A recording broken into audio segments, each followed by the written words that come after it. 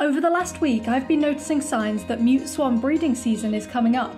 Pairs facing each other with the classic heart shaped neck bow and synchronised head movements is a sign that the mute swans are starting up their courtship. Mute swans normally nest between April and July, but if you're lucky, you might spot nests forming in March. I was really lucky earlier today when I spied this mute swan hidden amongst the vegetation on the other side of the river. Now most mute swans won't nest during their first year in a territory, so don't have their first clutch of eggs until they're at least three years old.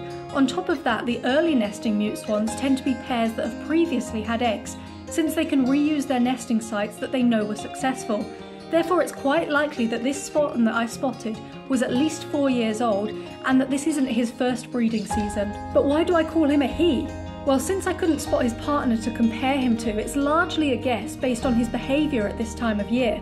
It's the job of a male mute swan to pick a spot to start building the nest, and then the female will inspect it. She has criteria for him. It must be close to shallow water, with an abundance of food in easy reach, away from the disturbance of predators, and have a large amount of nesting material close by. If she isn't happy with his choice, he'll have to start again. Once she is happy, she'll take over the main construction part, with the male passing her dried grasses, sticks, and rushes to help build the nest up.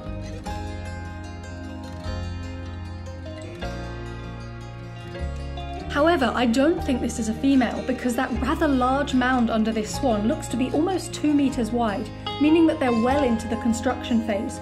Normally females will lay their first egg while the nest is still in its early stages and then stagger out laying the remaining eggs over the next two weeks. So that the eggs don't hatch at different times, she doesn't actually start sitting on them to incubate them straight away. Instead, she spends these two weeks feeding on as much vegetation as she can to build up her energy stores. To make sure the eggs are safe from predators and don't get too cold, it's actually the male who attends to them at this time. His feathers don't fluff up, meaning that not a lot of heat is transferred to the eggs, and he'll alternate between sitting on the eggs and building up the nest. I'm thinking that this swan is a male, attending to his nest and his slowly increasing number of eggs. I'm hoping that if I check back in a week or two, I'll spot the female, her feathers all fluffed up as she keeps the eggs warm enough to start developing. During this main incubation phase, she'll rarely leave the nest, relying on the energy reserves she built up during the laying period while the male defends their territory.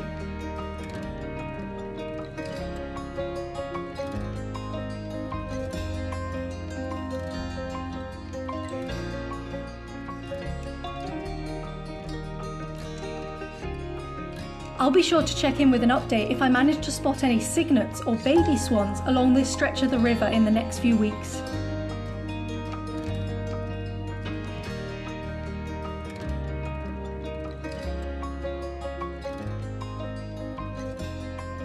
Subscribe to FeraForus to keep learning about UK nature.